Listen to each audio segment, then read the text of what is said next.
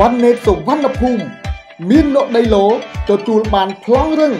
ចាចឹងជាមួយនឹងស្ពានយោស្ទឹងក្រញូងស្រុកសំឡូតដែលជាកន្លែងរមណីយដ្ឋានមួយបានដាច់ទាំងស្រុងដោយសារទឹកជំនន់ទឹកភ្លៀងជាប់ជាប់គ្នាកាលពីយប់មិញរហូតដល់វេលាម៉ោង10ព្រឹកថ្ងៃទី16ខែកញ្ញាឆ្នាំ2019នេះស្ថិតនៅឃុំតាសាញស្រុកសំឡូតខេត្តបាត់ដំបង។ ចាតាមប្រភពពីអាជ្ញាធរស្រុកបានឲ្យដឹងថានៅយប់មិញមានភ្លៀងធ្លាក់ជាប់ជាប់គ្នារហូតចដល់វេលាម៉ោងចាស់គឺព្រឹកមិញនេះហើយធ្វើឲ្យទឹកហូរខ្លាំងពេកម្ដាលឲ្យស្ពានយកស្ទឹងក្រញូងគឺបានដាច់ទាំងស្រុងដែលធ្វើឲ្យប៉ះពាល់លិចលងឃុំចំនួន4គឺឃុំតាតោក ទី2គឺឃុំតាសាញទី3ឃុំសំឡូតនិងចុងក្រោយគឺឃុំអូតាទៀនៅស្រុកសំឡូតខេត្តបាត់ដំបងធ្វើឲ្យប្រជាពលរដ្ឋជាង27គ្រួសាររស់នៅទីនោះរត់យកដូចខ្លួន និងមិនប៉ះពាល់ដល់អ្វីគ្រោះថ្នាក់ខ្លាំងនោះទេចាស់ដូចជាអាយុជីវិតនេះបើតាមលោកសាសមេតអភិបាលស្រុកសំឡូតបានបញ្ជាក់តាមទូរស័ព្ទថា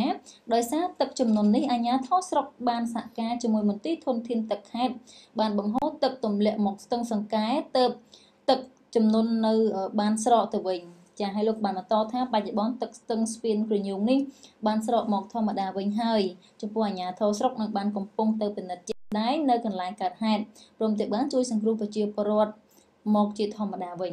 ចាហើយដល់ឡែកមួយទៀតគឺពលរដ្ឋជាង400គ្រួសាររងគ្រោះដោយទឹកជំនន់នៅខេត្តកំពង់ចាមទទួលបានព្រះរាជអំណោយពីព្រះមហាក្សត្រនិងព្រះមហាក្សត្រី ចាចាវាយចាគឺសម្ដេច ចាវេវាវាំងគង់សំអល់ឧបនាយករដ្ឋមន្ត្រីរដ្ឋមន្ត្រីក្រសួងព្រះបរមរាជវាំងនាំយកនៅព្រះរាជអំណោយដ៏ថ្លៃថ្លារបស់ព្រះករុណាព្រះបាទសម្ដេចព្រះនរោត្តមសីហមុនីព្រះមហាក្សត្រនៃកម្ពុជានិងសម្ដេចព្រះមហាក្សត្រីព្រះ វររាជបិតាជាតិខ្មែរព្រះរាជប្រទានជូនប្រជារាស្ត្ររងគ្រោះ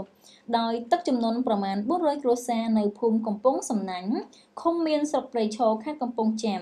ពិធីនេះបានធ្វើឡើងនាព្រឹកថ្ងៃទី16ខែកញ្ញាឆ្នាំ2019នេះដោយមានការអញ្ជើញចូលរួម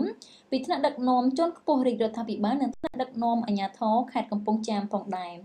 ជ្រាបក្នុងឱកាសនេះសម្ដេចចៅវ៉ាវៀងចាស់ចៅវាវៀង គង់សំអល់បាននាំមកនៅព្រះរាជបណ្ដាំសាកសួរសុខទុក្ខនិងព្រះរាជហឫទ័យអាណិតស្រឡាញ់សេចក្តីនឹករលឹកយ៉ាងជ្រាលជ្រៅបំផុតរបស់ព្រះករុណានិងសម្ដេចព្រះមហាក្សត្រីជូនចំពោះបងប្អូនកូនចៅចៅទួតនៅចានៅទូទាំងប្រទេស ជាពិសេសព្រះរាជហឫទ័យទុកដាក់ចំពោះជីវភាពរស់នៅរបស់បងប្អូនប្រជារាស្ត្ររបស់ព្រះអង្គចាព្រះរាជអំណោយព្រះមហាក្សត្រនិងសម្ដេចម៉ែដែលបាន ព្រះរាជទានជូនដល់ប្រជារាស្ត្ររងគ្រោះដោយគ្រោះធម្មជាតិទឹកជំនន់បណ្ដាលឲ្យឲ្យលិចលង់ក្នុងលំនៅឋានរបស់ប្រជាពលរដ្ឋចំនួន400គ្រួសារដោយក្នុងមួយគ្រួសារទទួលបានអង្ករ50គីឡូក្រាមចាមីខមួយកញ្ចប់ចាមុងមួយភួយមួយសរងមួយនិងក្រមាមួយមីមីមួយកេះត្រីខ10កំប៉ុងកៅស៊ូតង់ចំនួន1ផ្ទាំងអាវយឺត មានស្លាកព្រះរាជអំណោយព្រះករុណាព្រះបាទសម្ដេចព្រះបរមនាថនរោត្តមសីហមុនីព្រះមហាក្សត្រនៃព្រះរាជាណាចក្រកម្ពុជាចំនួន1និងថវិកាចំនួន20ម៉ឺនរៀលចា៎បាទអរគុណធីវីដោយសារតែអតិពលនៃព្យុះភ្លៀងពីបណ្ដាប្រទេសផ្សេងផ្សេងបាទហើយក៏គូផ្សំទាំងរដូវនេះគេហៅរដូវវស្សាផងណាធីវីគឺរដូវភ្ជុំគេហៅរដូវភ្លៀងរលឹមបបាច់បបាច់ហើយជារដូវទឹកឡើង ដូច្នេះគឺឃើញថាទឹកចំនួនបានវិចប្រហារទៅលើខេត្តមួយចំនួនរបស់ប្រជាណាចក្រកម្ពុជា ដែលជាហេតុធ្វើឲ្យគ្រួសារនៃប្រជាជនកម្ពុជាជាច្រើនរយគ្រួសារពាន់គ្រួសារហើយដែលត្រូវវឹកវរបាទរវល់ញាប់ដៃញាប់ជើងតែរឿងរុះរើបាទផ្ទះសំបែងសត្វពាហនៈអីផ្សេងផ្សេងនេះគឺដោយសារទឹកជំនន់ ទឹកជំនន់នេះហើយដែលធ្វើឲ្យខូចខាតដល់ហេដ្ឋារចនាសម្ព័ន្ធជាច្រើនរួមទាំងវិស័យកសិកម្មស្រែចម្ការរបស់ប្រជាពលរដ្ឋរលិចលង់ហើយក្នុងនោះក៏យើងឃើញមានការយកចិត្តទុកដាក់របស់ប្រមុខរាជរដ្ឋាភិបាលកម្ពុជារួមទាំងព្រះមហាក្សត្រព្រះករណាព្រះបាទនរោត្តមសីហមុនីនិងព្រះមហាក្សត្រីសម្ដេចម៉ែលោកតែងតែគិតគូរទៅដល់កូនចៅគឺបងប្អូនប្រជាពលរដ្ឋយើងគឺកាក់ក្បាត់ក្រហមកម្ពុជាក៏ដូចនោះដែរ ចុះទៅតាមមូលដ្ឋានផ្សេងផ្សេងដើម្បីជួយដល់ប្រជាពលរដ្ឋតាមរយៈការចែកអំណោយបាទអំណោយនោះគឺជាអំណោយដែលមានអឺវត្ថុចាំបាច់ដូចជាមុងភួយខ្នើយបាទអង្គរហើយនឹងថ្នាំបាទថ្នាំពេទ្យផងអង្ករត្រីខមីជាដើមនេះ គឺជាកត្តាចាំបាច់ណាស់សម្រាប់បងប្អូនប្រជាពលរដ្ឋយើងដែលរងគ្រោះដោយទឹកជំនន់ពីព្រោះអាហារនំចំណីបាទអង្ករអឺ ត្រីខនេះគឺចាំបាច់សម្រាប់គាត់ពីព្រោះឃ្លាន បាទនៅពេលដែលលិចទឹកទៅគឺថារត់បាទស្ទុះស្ទាទៅទាំងយប់ដោយករណីដាច់ស្ពាននៅកាលពីចា៎យុគមិញអញ្ចឹងបាទនៅស្ទឹងកញ្យោងអញ្ចឹងគឺ27គ្រួសារបាទ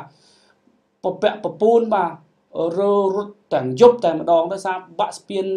ស្ទឹងកញ្យោងនឹងមកគឺទឹកបុកមកតែម្ដង បាទលិចជន់ទៅដល់សសរផ្ទះ អញ្ចឹងគឺ3កូនង៉ែតកូនងាបាទសัตว์ប្រឡាត់អីហ្នឹងហែលពេញទឹក បាទទាំងយប់ប្រវេប្រវាស់ឲ្យអាជ្ញាធរមូលដ្ឋានអឺលោកចុះទៅជួយ បាទជួយអន្តរាគមន៍អញ្ចឹងឲ្យបានសម្ដេចតេជោលោកអឺចាត់វិធានការគឺថាអឺអឺឲ្យសមត្ថកិច្ចគ្រប់ទាំងអស់ទាំងប៉ូលីស PM បាទទាហានអីហ្នឹងចា៎គឺរួមគ្នាជាកម្លាំងជាគណៈកម្មការហ្នឹងគឺចោះជួយប្រជាពលរដ្ឋឲ្យបានទាន់ហេតុការណ៍អញ្ចឹងកន្លងមកគឺថាមានប្រសិទ្ធភាពត្រង់ថាជួយសង្គ្រោះបាន ហើយរកទីទួលសុវត្ថិភាពហើយផ្ដល់នៅអំណោយបាទចា៎ជូនទៅដល់ពួកថ្លៃៗគាត់សម្រាប់ការហូបអញ្ចឹងអឺអ្នកដែលស្លាប់រងគ្រោះដោយទឹកជំនន់ហ្នឹងគឺយើងអត់ទាន់មាន ជាព័ត៌មានណាមួយដែលចា៎ប៉ះពាល់ដល់អាយុជីវិតពួកគាត់ទេអញ្ចឹងគឺថានេះគឺជាចំណាត់ការរបស់រាជរដ្ឋាភិបាលកម្ពុជា ដែលក្នុងការយល់ពីសុខទុក្ខរបស់ប្រជាពលរដ្ឋហើយអរគុណផងដែរដល់អាជ្ញាធរមូលដ្ឋានទាំងអស់ដែលលោកខិតខំមែនទែនបាទឃើញហើយជីកទូកលុយទឹកបាទដើម្បីទៅជួយសង្គ្រោះប្រជាពលរដ្ឋរបស់យើងដែលរងគ្រោះដោយសារទឹកជំនន់នៅតាមបណ្ដាខេត្តមួយចំនួនដែលកំពុងតែរងគ្រោះដោយការវាយប្រហារនៃទឹកជំនន់នេះបាទ